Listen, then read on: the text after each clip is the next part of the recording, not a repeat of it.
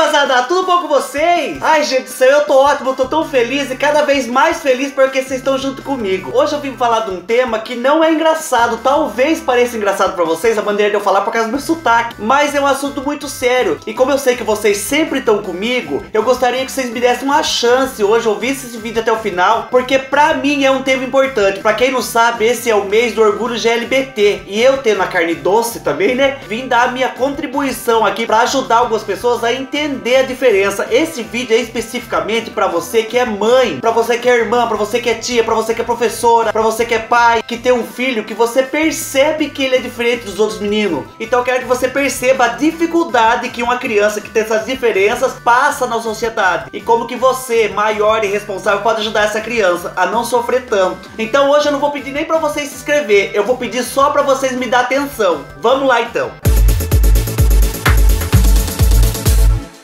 Mas eu lembro que quando eu era criança, eu já percebia que eu era diferente dos outros meninos, porque eu queria brincar com as meninas. E ali já era a primeira dificuldade, porque o menino não podia brincar com a menina, e o menino não podia brincar com o brinquedo da menina. Eu não me identificava com os meninos, eu não gostava de brincar de futebol, é uma coisa que não me agradava. E daí quando eu cheguei na escola, eu percebi que realmente eu só me identificava com as meninas, porque eu sentava perto das meninas, queria fazer trabalho com as meninas, raramente eu interagia com os meninos. E isso começou a me atrapalhar, porque na escola você começa a perceber que além de diferente, você gosta de coisas diferentes. E eu tô falando que para ser claro que eu comecei a perceber que eu gostava de menino. E nesse momento eu comecei a perceber como que a sociedade pode ser um pouco dura com a gente. Eu fiz catecismo aprendendo que eu era errado, que eu ia pro inferno. Eu não podia contar para minha mãe porque eu apanhava. Se eu contasse pro meu pai, eu apanhava também. Na escola eu aprendia que a minha conduta era errada. E os meninos da escola começam a caçoar da gente, chamar a gente de tudo quanto é nome. Eu apanhava na escola por ser diferente. Não podia contar para minha mãe porque minha mãe não ia entender. Se eu contasse pra professora, ia contar pra minha mãe, eu ia apanhar. E eu me via com um problema enorme, sem saber direito o que, que eu era, e não podia contar pra ninguém. Então a gente, que é uma criança diferente na escola, se vê numa situação de ter que ficar correndo dos outros e não poder contar na casa o que, que tá acontecendo. Eu lembro que eu tinha algumas professoras que nitidamente tinham preconceito de mim. E elas expressavam isso. E isso atrapalhou bastante o meu aprendizado, porque naquelas matérias que as professoras não me entendiam, eu não aprendia. E quando a gente cresce mais um pouquinho, a gente sente necessidades no corpo assim de querer sair com os meninos, de querer ficar com os meninos, mas com quem que a gente vai conversar? Gente, eu tive sorte de morar numa cidade pequena que não tem tanta coisa errada igual a gente vê na televisão, e tive sorte também de não me deparar com gente que me ensinou a coisa errada. Ou sei lá, apenas só tive sorte.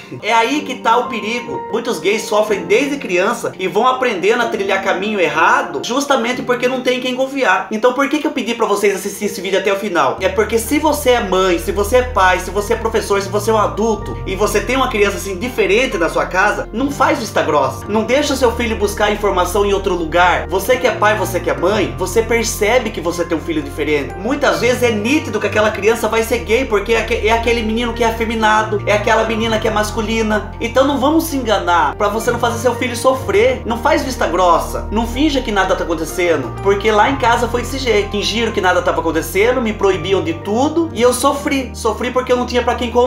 Sofri porque eu tinha medo de apanhar dos meus pais em casa, mas acabava apanhando na rua todos os dias por causa disso. Então você que é pai, você que é mãe, perceba que se você tem um filho ou uma filha que se comporta igual eu quando eu era criança, conversa com ele, não deixa ele sofrer porque ele tá sofrendo. E quando vocês não conversam, essa criança pode buscar ajuda, pode procurar alguém que de repente não vai ser a melhor opção e cai no mundo que de repente não seria o melhor mundo. Muitos de nós fogem de casa, vai para as ruas, faz coisas que não deve. Tudo isso podia mudar se você que percebe a diferença do seu filho ajudasse ele. Não deixa essas crianças sofrer, não finja que não tá acontecendo com você, não empurra com a barriga, não deixa para depois. Tenha coragem de enfrentar a situação e para de fingir. Se você for criança que tá passando por isso, conta pros seus pais. Conta que você é diferente. Conta que você sofre na rua e conta que você precisa do apoio deles.